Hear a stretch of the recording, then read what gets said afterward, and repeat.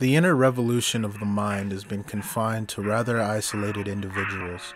It has never, to my knowledge, been widely characteristic of communities or societies. It is often thought as too dangerous, hence the taboo. Alan Watts, 1966.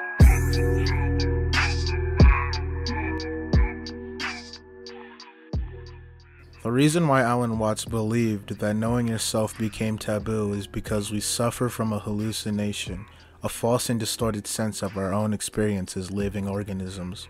It is the sensation that the self is a separate internal center bounded to our physical bodies, which confront the external people and things in a universe that's often alien and strange. This feeling of being lonely and temporary visitors in the universe is a direct contradiction to everything that we know about living organisms.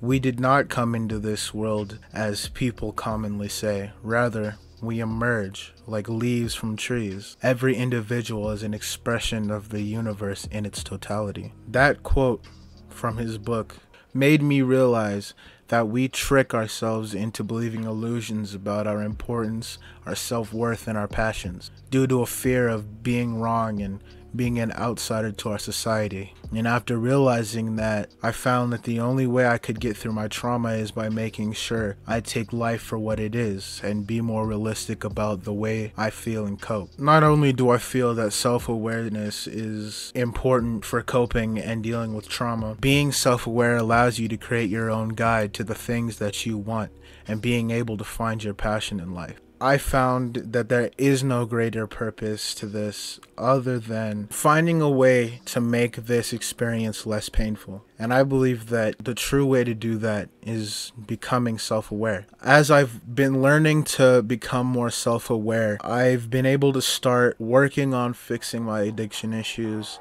and my depression issues, finding motivation and passion to do what's good for me and those around me.